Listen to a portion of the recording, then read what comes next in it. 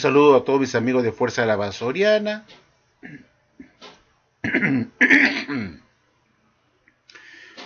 A continuación voy a proceder a leer una carta que me ha enviado un testigo de Jehová de nombre Diego Castro. Me ha escrito una carta, una carta bastante amable. Me hace una serie de preguntas o una serie de cuestionamientos que él quiere que yo le responda. Pero primero, pues leamos su carta para ver de qué se trata. Buenas noches hermano Lavasori. Mi nombre es Diego Castro.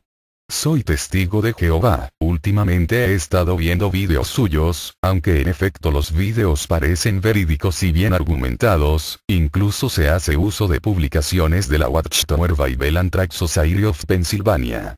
Sin embargo, he llegado a cierto punto de conclusión o cierto análisis, la interpretación propia que usted le da a las publicaciones, reitero, a las publicaciones, no a la Biblia, no es la más acertada debido a que este tipo de doctrinas por así llamarlas, solo llegan a ser comprendidas en su totalidad una vez que son enseñadas y estudiadas con un testigo de Jehová. Me gustaría hacer mención a esta serie de videos o ataques a la Watchtower como muchos videovidentes lo han clasificado. La interrogante es, ¿por qué habla de esta religión sin siquiera conocer los verdaderos principios? Porque se atreve, por ejemplo, a asegurar que hay colectas forzadas dentro de las reuniones, con esto solo demuestra ignorancia en cuanto a la estructura de la organización, y esto conlleva mentir, porque cuando usted dice esto sin argumentos pues está mintiendo. Por recalcar el ejemplo anterior también menciono que está claro que usted nunca ha entrado a una reunión según parece. Por otra parte, ninguna publicación se vende, y si se vendían fue en décadas atrás, que por cierto el costo era ligeramente superior al costo de impresión, esto está registrado en diferentes fuentes históricas y legales. ¿Acaso no sabía usted que Charles Taze Russell compraba Biblias en grandes cantidades para ofrecerlas a muy bajos precios? Si usted analiza por ejemplo la biografía oficial de Russell también con fuentes históricas y legales, pues se va a dar cuenta que él invirtió toda su fortuna en la obra de la predicación. En cuanto a los ajustes doctrinales, gran parte de ellos anunciados en el 2013, pues son una clara prueba de que se busca la verdad y no es una organización testaruda que defiende solo los principios de su fundador o iniciadores, sino que busca proclamar y encontrar la verdad a toda costa. Otro caso que me llamó la atención es el de un video de imágenes de bautizos en el cual se decía que los ancianos disfrutaban hacer eso con fines indecorosos, pues le recalco que esto se ve insolente y se ve mal de su parte. ¿Busca usted a Dios? ¿O busca despertar pensamientos antíblicos? En este mismo caso, le recalco que hay ciertas normas y lineamientos a seguir para un bautizo.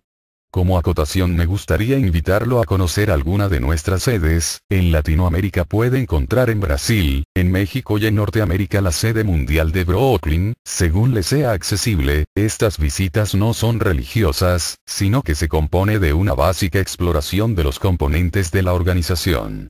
Me gustaría que usted tratara puntos que usted considere de gran relevancia, pero le propongo que los trate conmigo y haga vídeos de las respuestas que le doy y también lo que usted argumente, me parece que su canal fuera más sólido si la propia doctrina estuviera explicada por un testigo de Jehová. Si no lo desea así pues también podemos tratar por aquí. Saludos hermano, espero que Jehová y le brinde sinceridad y conocimiento para comprender las escrituras con la propia palabra del Señor. Y recuerde, la religión es un fraude y un lazo, sirva a Dios y a Cristo Rey. También me gustaría recalcarle que como testigo de Jehová investigo por mi propia cuenta, busco cumplir la voluntad de Dios, por tanto si yo encontrara mentiras en la sociedad, ¿cree usted que seguirá ahí? Pues no. Sin embargo esta organización se esfuerza por servir a Dios de la forma más acertada dentro del conocimiento humano, sinceramente admiro su esfuerzo por encontrar una verdad, sin embargo es de gran desagrado el hecho de que haga comentarios despreciables de doctrinas que usted mismo interpreta incorrectamente. Y recuerde también que Jesús nos enseñó a amar a todos, que mejor que seguir las enseñanzas del Mesías con el corazón. Reciba un afectuoso saludo, espero su respuesta. Bueno, Queridos amigos testigos de Jehová y público en general, voy a proceder a responder la carta de Diego, este señor testigo de Jehová, que muy gentilmente me ha escrito una carta eh, que acabamos de leer y voy a proceder a dar mi respuesta para que él se sienta complacido, puesto que es así como él me pide una respuesta a sus interrogantes. Bueno, vamos a empezar por partes, pues, a responder su carta. Y vamos a ver qué cosas me dice él. Eh, él dice que llega una conclusión que la interpretación que yo hago uh, sobre la sociedad Watchtower Babylon Truck Society, eh, que yo hago uso de las publicaciones de la sociedad, se trata de mi propia interpretación, que yo le doy las publicaciones. Bueno, es obvio, pues mm, es justamente las publicaciones que yo leo para dar una interpretación. No va a ser de otra cosa, pues, este Diego es mi propia interpretación con respecto a las publicaciones y mi punto de vista si es que realmente se apegan a lo que dice la Biblia. De eso se trata el foro de fuerza de la Soriana, de desemejar a la Watchtower y probar que lo que ella enseña en su literatura no se ajusta necesariamente a la Biblia, como ya he demostrado con muchos videos que he subido mostrando ciertas doctrinas del pasado que han sido, sido descartadas porque eh, no se pegan a la Biblia, pues de lo contrario la Watchtower jamás hubiera tirado a la basura sus enseñanzas del pasado y las hubiera reemplazado por otras totalmente diferentes, porque obviamente se dieron cuenta que no se pegaban a lo que enseña la Biblia. Es decir, la Watchtower también tiene su propia interpretación de lo que piensa, de lo que enseña la Biblia y lo publica en, sus libros. Yo hago lo mismo, pues si me pongo a estudiar la Biblia, y comienzo a cotejar si lo que la Astral publica, de acuerdo a mi punto de vista, se apega a la Biblia. Lo puedes aceptar, lo puedes rechazar, pero es mi punto de vista. Tan valedero, quizás mejor que lo que publica el cuerpo gobernante que no está para nada inspirado por Dios. Estamos contrastando mi punto de vista personal sobre lo que la Astral publica con respecto a lo que enseña la Biblia que son el punto de vista de ocho hombres imperfectos que no están inspirados por Dios, que dan sus propios puntos de vista, eh, ideas personales y que lo vuelcan en sus publicaciones. Así que estamos contrastando lo que la vuestra entiende eh, de lo que sea en la Biblia con lo que yo entiendo por mi cuenta. Y trato de rebatirlo con fundamento, pues con pruebas, para poder este, convencer a mis videovidentes de lo que yo eh, digo, denuncio. Sigamos adelante a ver qué me dice Diego, pues no. Dice que yo comprendería mejor las enseñanzas de la Watchtower si yo siguiera las enseñanzas de la Biblia con un testigo de Jehová. Es decir, que si yo me dejara guiar por un testigo de Jehová como profesor. Yo no necesito que un testigo de Jehová me enseñe para que él me haga comprender lo que yo entiendo por mi lado. Es decir, yo no necesito reunirme con testigo de Jehová para que él me convenza de lo que publica la Watchtower es la verdad, puesto que yo ya lo indagué, lo investigué y lo contrasté con la Biblia y con sus libros del pasado y veo pues que lo que la Watchtower publica no se ajusta a la Biblia. Por ejemplo, cuando dice pues que en 1919 Jesús hizo una inspección a su templo espiritual y escogió a su esclavo fiel y de Mateo 24 45. No necesito reunirme con un testigo de Jehová para que me convenza que eso es verdad, como tú pretendes, Diego, decirme acá que yo podría interpretar, conocer más lo que la voz publica como doctrina si yo me reuniera con un testigo de Jehová y estuviera eh, siendo guiado por él, por el testigo de Jehová. No, no necesito que él me guíe nada, yo solamente tengo las cosas bien claras. Es imposible que Jesús haya escogido su clavo en 19, pues, porque esto está todo para después de la tribulación, cuando Jesús vuelva a la nube del cielo con poder y gran gloria y recién haga la expresión de su directo para el futuro después de la gran tribulación. No visto que un tío va a una conmigo para que me convenza de lo contrario, eso, no es necesario, yo ya me lo convencí que es una mentira, es, un, es una enseñanza errada de tu organización de la Watchtower, Diego. Y es por eso que yo lo denuncio en mis videos lo que la Watchtower enseña como falsedad, como una doctrina supuestamente como verdadera. y que en realidad contiene una falsedad, una mentira, un engaño. Decir que Jesús escogió su clavo en 1919 cuando es algo, ese texto de Mateo 24 a 45 que comprende la, primera nominación, está todavía para el futuro, como lo he repetido más de 100.000 veces. Entonces no necesito juntarme con Dios Jehová para que Él me enseñe y me explique lo que es inexplicable e injustificable. Ahora, eh, dice que yo hago ataques a la Watchtower en muchos videos. Eh, dice, ¿por qué hablo de la religión si siquiera la conozco verdaderamente sus principios? ¿Y por qué me atrevo, por ejemplo, a asegurar que hay colectas forzadas dentro de las reuniones? Con esto solamente demuestra su ignorancia. Bueno, yo he sido testigo de Jehová, pues en el pasado no necesito que me invites a conocer un salón de reino, porque antes que tú nacieras, Diego, yo ya iba al salón de reino en la década de los años 60, 70, ¿escuchaste bien? En la década de los años 60 y 70 iba al salón de reino con mi mamá. Y conozco pues bien cuáles son sus principios a fondo y cuáles son sus enseñanzas o cuáles fueron sus enseñanzas en ese momento que yo era te dije, porque ahora ya, no se cree lo que yo creía, de lo que la Huastra me enseñaba como la verdad, puesto que lo que yo quería mientras era te dije, ahora ya no se cree como la verdad. Entonces yo sí conozco pues a la Huastra perfectamente, Diego. Conozco sus principios, he sido años de Jehová, conozco lo que enseñan. He estado en Betel, He almorzado en el comedor de Betel en el año 1964. Hace 52 años atrás yo estuve en Betel, Nueva York, cuando ninguno de ustedes a nacer. Y he almorzado en Betel con los betelitas hace 52 años atrás. Y tuve la oportunidad de conocer a varios presidentes de la Watchtower y saludarlos personalmente como el señor Nathan Noor, el señor Frederick Franz, el señor Milton Henson. Les he dado mi mano, los he saludado con esta manita, con esa cara, los he, saludado.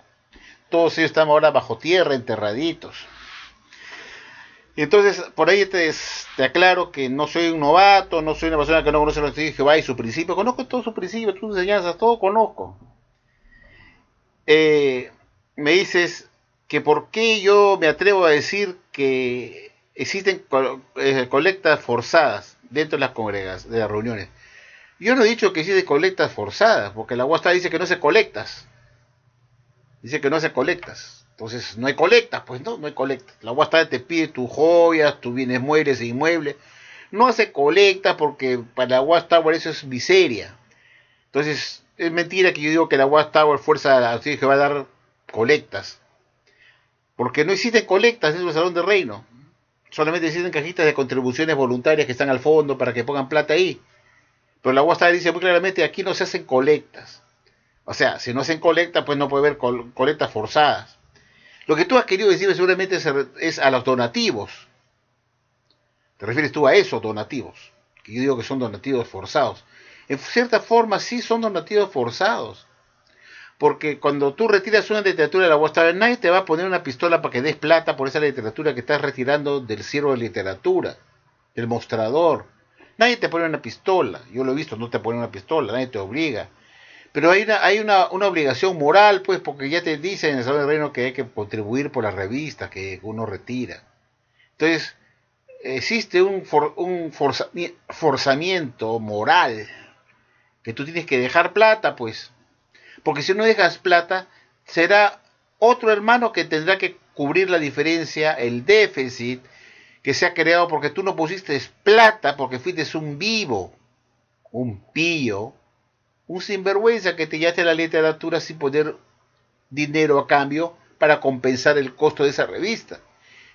Yo no te digo que te van a obligar a que dones por la revista con una pistola, pero el cielo de literatura está ahí viendo que tú recoges tu literatura, y tiene la cajita al costado y él no te va a decir pon plata, pero está, te está mirando, porque yo estuve ahí y lo he visto con mis ojos.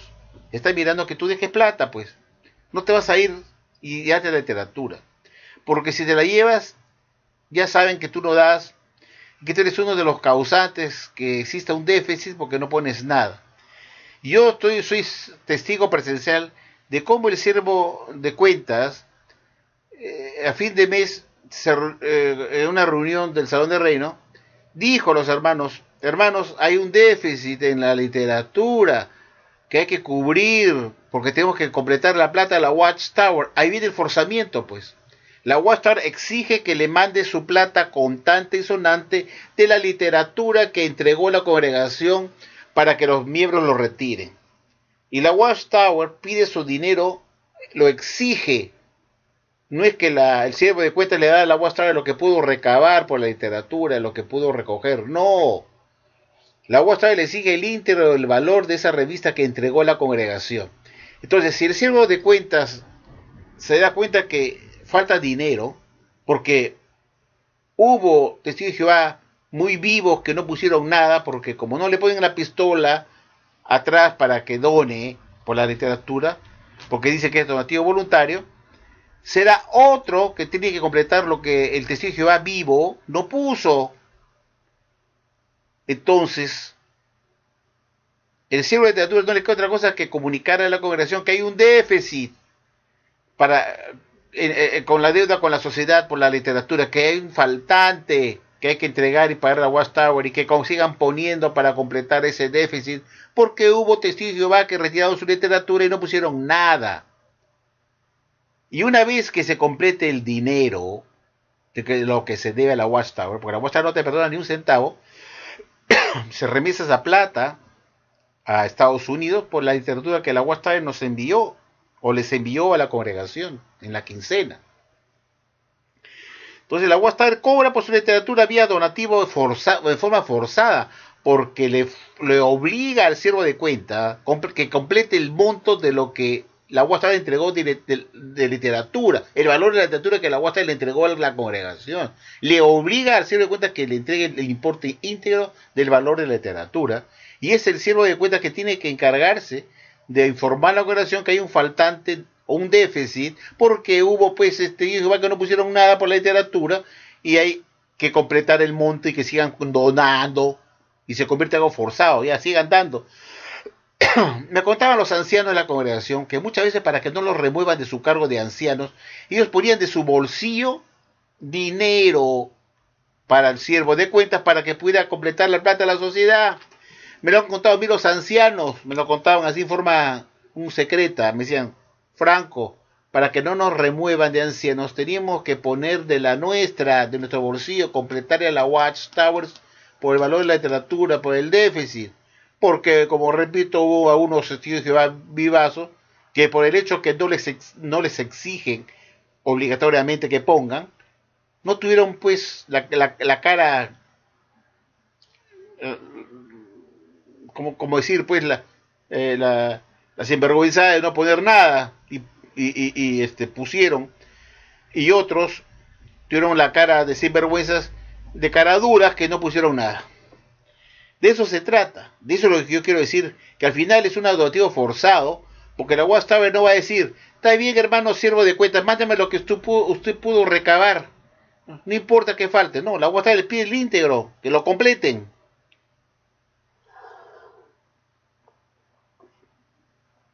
Entonces, ahí viene el forzamiento, que el siervo de literatura se ve forzado a buscar plata de donde sea para completar a la Watchtower el íntegro del valor de la literatura que entregó la congregación. Ahí viene el forzamiento, porque el siervo de cuentas tiene que exigir a los hermanos que pongan más dinero porque hay que completar la Watchtower. Entonces es forzado.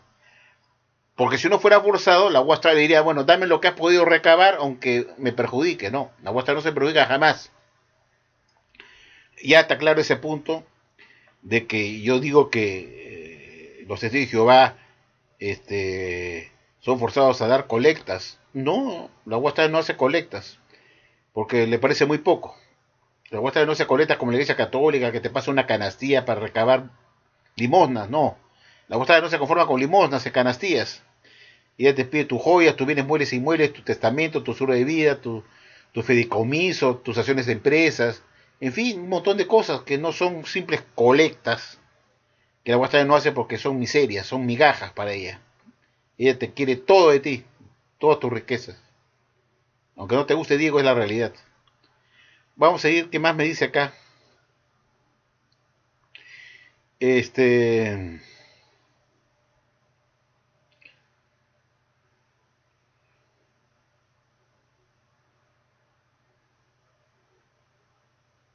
Dice que la Watchtower no vende nada, que todo es gratuito. Y que se vendían fue décadas atrás.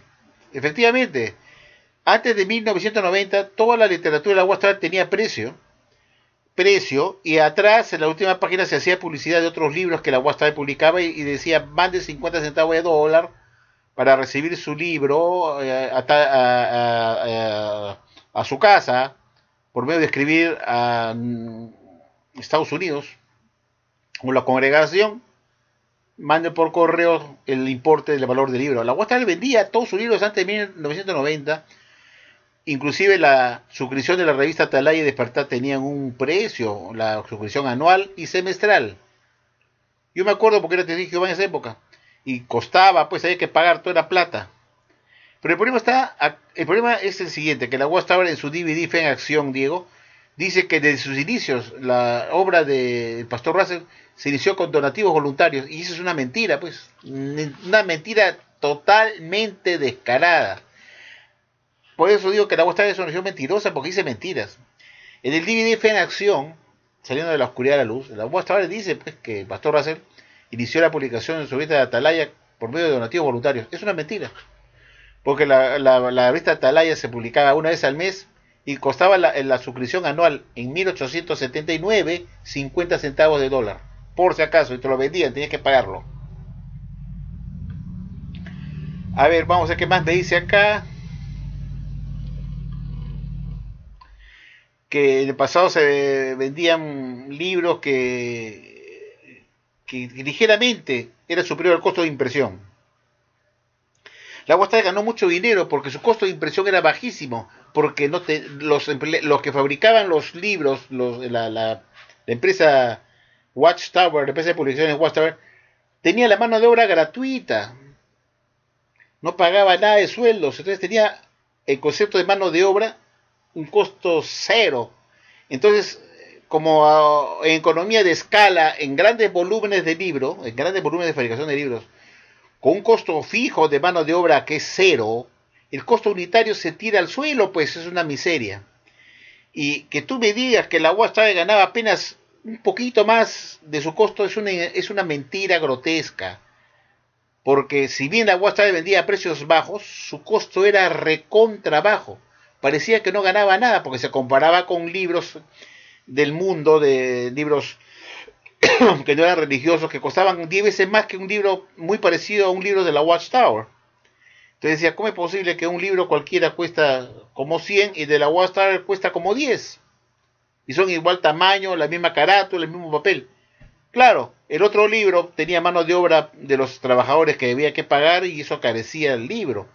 Pero el de la Watchtower tenía esclavos como trabajadores, pues en Betel, eran puros esclavos. No cobraban nada, los tenían como esclavos. Entonces el costo de mano de obra en una economía de escala, en gran volumen, predicando millones de libros y revistas, el costo unitario es recontra bajo. Entonces parecían que los libros de la eran baratísimos, porque se comparaban con libros comerciales de la misma calidad, del mismo tamaño, que costaban 10 veces más. Entonces, la Watchtower ganó mucho dinero porque sus libros costaban una miseria. Y no es que ganaba un poquito, como dice, eso, eso no es cierto.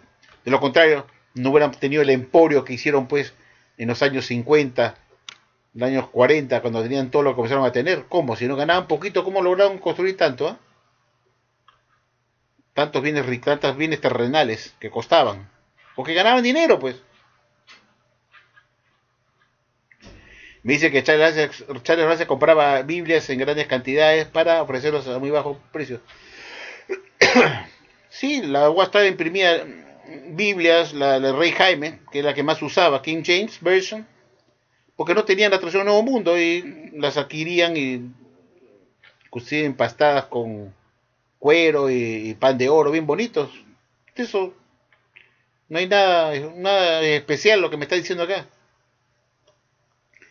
Vamos a ver, dice que si usted analiza, por ejemplo, la biografía de Russell, dice que que las fuentes históricas legales dice que va a demostrar que eh, él invirtió toda una fortuna en la obra de predicación. Sí, él era un hombre rico que vendió su negocio de la tienda de ropa que tenía.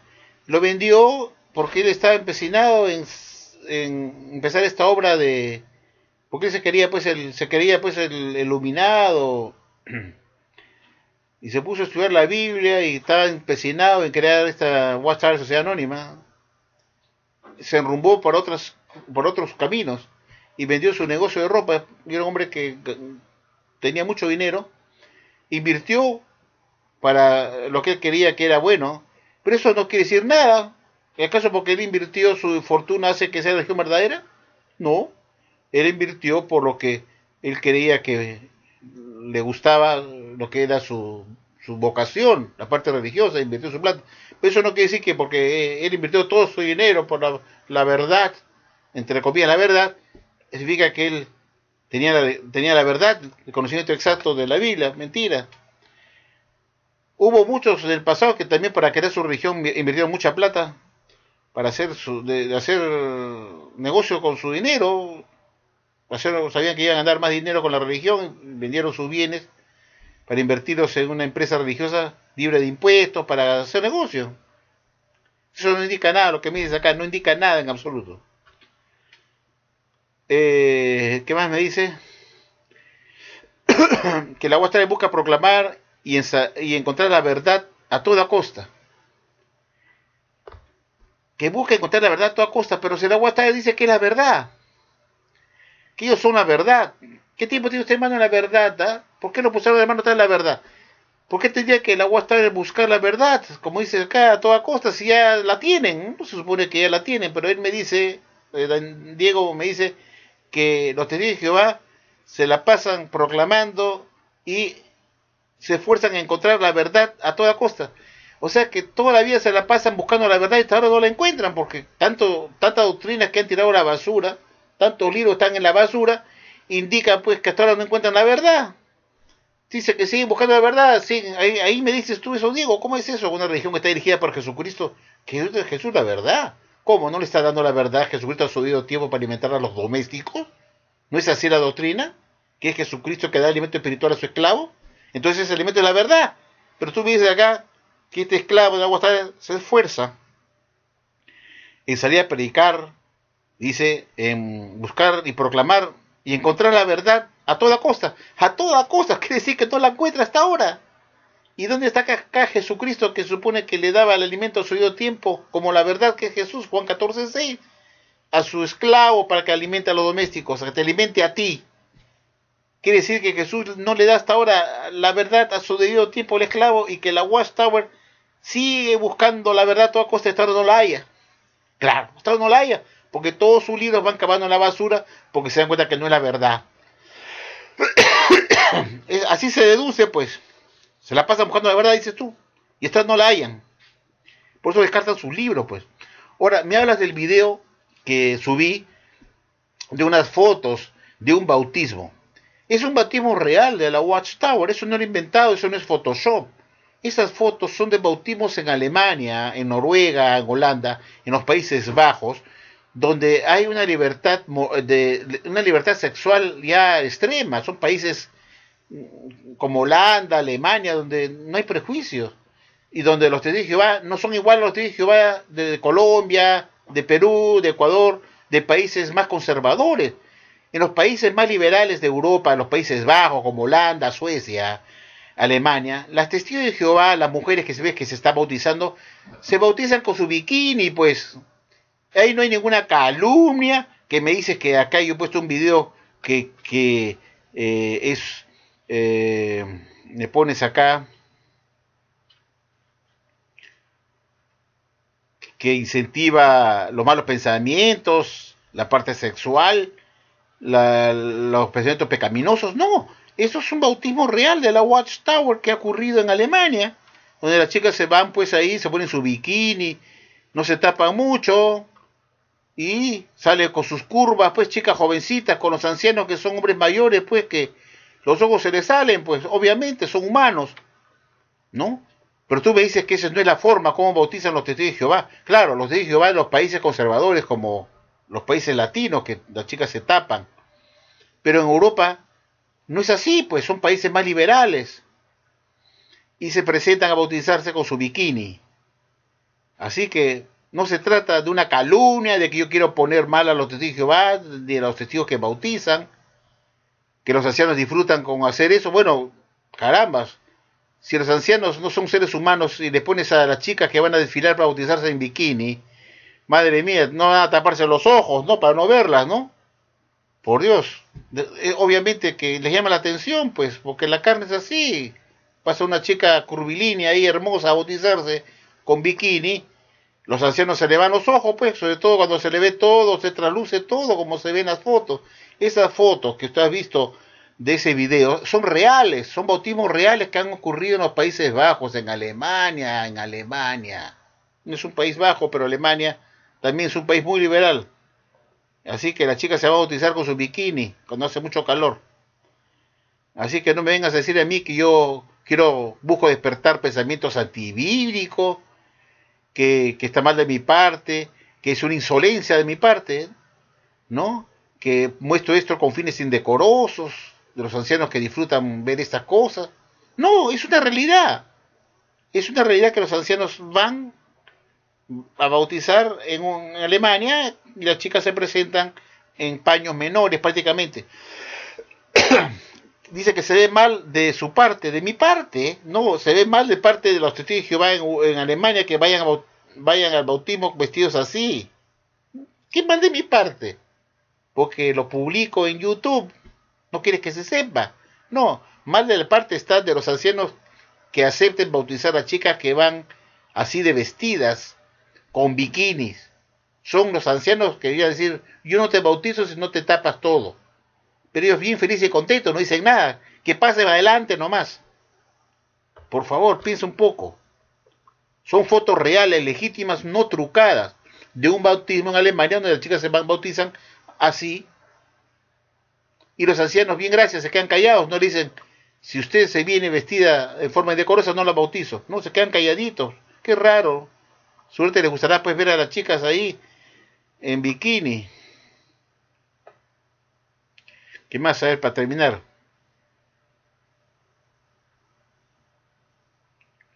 Me dice, eh, le propongo a usted invitarlo a conocer alguna de nuestras sedes en Latinoamérica. Puede encontrar en Brasil. No me interesa. Ni en Brasil, ni en México. No me interesa la Ya, ya fuiste sí, hace muchos años. Yo conocí, no solamente la sede de, de Brasil, México, conocí la de Nueva York, la más grande. Cuando tú no habías ni siquiera nacido y tuve la oportunidad de conocer a los presidentes que ya te mencioné, que conocí en persona. Y no tengo ningún interés de ir y visitar a una región falsa que muestra sus riquezas materiales que tienen en la tierra que Jesús nunca tuvo. Nunca tuvo para ver todas sus riquezas, ahí todas sus haciendas, sus edificios en Brooklyn, no gracias. Y ver Volker tampoco, no me interesa, porque eso va a ser destruido por Jehová Dios del Armagedón. Todas las empresas religiosas falsas que se han enriquecido a costa de sus miembros por medio del engaño, por la eterna búsqueda de la verdad que hasta ahora no la hay a la Watchtower, como tú me dices, ¿no? que se esfuerzan a encontrar la verdad a toda costa. Eh, eh, es decir, me está diciendo que la Watchtower no tiene la verdad porque la está buscando hasta ahora. A toda costa. Y hasta ahora Dios y Jesucristo no se la da. Qué raro, ¿no? La versión de Jehová dice que ahora no encuentra la verdad, que está, busca, busca la verdad, ahora no la encuentra. Por eso pues todos sus libros están en la basura, porque se dan cuenta que lo que van publicando todos los años no es la verdad. Y así dice que es la religión verdadera. Ni de ninguna manera. bueno, espero haberte contestado lo más breve posible lo que tú me has escrito. Y yo te recomiendo que sigas viendo mis videos, todo lo que he subido para que te convenzas que el agua está no es la nación de Jehová, que es una nación falsa, que se ha enriquecido de sus miembros, que tiene 135 años de doctrinas falsas, de, son falsos profetas, se han pasado toda la vida anunciando el fin del mundo con, con diferentes fechas, y hasta ahora no la pegan. Y hasta ahora estamos esperando que resucitan, resuciten los antiguos hombres de la precristiandad, como David, Abraham, Isaac, Jacob, Moisés, Salomón, en fin, no, no resucitan hasta ahora. Tanto nos ofreció el Señor, el gran este, proveedor de alimento verdadero, el Señor Rutherford, que los patriarcas resucitarían en cualquier momento a partir del 25. Han pasado 100 años, ya van a ser 100 años y hasta no registran los patriarcas. Ay, Dios mío, y así cree, hay gente que cree que esta religión verdadera. Bueno, esa es opción de cada persona. Espero que Diego siga viendo mis videos para que se dé cuenta que no puede ser la religión verdadera la Watchtower. Y nunca la ha sido, ¿ah? Porque una religión que es verdadera no se puede estar buscando la verdad a toda costa. Entonces me pregunto, ¿por qué están buscando la verdad a toda costa? ¿Qué está esperando Jehová y Jesucristo? Que ya habían 135 años buscando la verdad a toda costa y no le hayan. Tú me dices de acá que los es una religión que se para buscando la verdad a toda costa. Y que son humildes en, en estar reconociendo que hay que cambiar de, de doctrinas, de enseñanza, para encontrar, hallar, buscar la verdad a toda costa. Ya llevan 135 años que se hace llamar como de Jehová y siguen buscando la verdad a toda costa y todavía no la hayan. Entonces, ¿para qué está Jehová y Jesucristo dirigiendo esta organización? ¿A quién le está pidiendo a la Watchtower que le dé la verdad a toda costa? Si se supone que es Jesucristo, pues que cogió a su esclavo para darle a él el alimento verdadero a su debido tiempo. Aquí hay una contradicción, ¿no te das cuenta, Diego, lo que me dices? que los hijos son los hijos que están buscando la verdad a toda costa. Quiere decir que no la encuentran todavía. Y lo que están enseñando ahora no es la verdad. Porque la siguen buscando. Ya llevan 135 años buscando la historia no la hayan. Prueba de ello es que toda esa literatura que publicó Russell, Rutherford, Franz Connor en los años 40, años 70, 80 y en el año 1990 todos están en la basura. Porque los alimentos no son la verdad. Y la UASTA sigue publicando nuevos, nuevos libros con nuevas supuestas verdades que al final de cuentas tampoco son la verdad porque tienen que seguir buscando la verdad a toda costa y hasta ahora no la hayan para que no se muevan más, queden fijas para siempre. ¿Te das cuenta? ¿Esta es religión verdadera? No, pues. No puede ser verdadera porque todavía no encuentran la verdad. ¿No dices tú que están buscando la verdad a toda costa? Entonces, si están buscando la verdad toda costa, quiere decir que no la han encontrado y no la tienen. Entonces, ¿cómo puede ser la verdadera? Razona, pues, razona, ¿no? Bueno, eso es todo lo que tengo que decirte, Diego. Gracias por escribirme.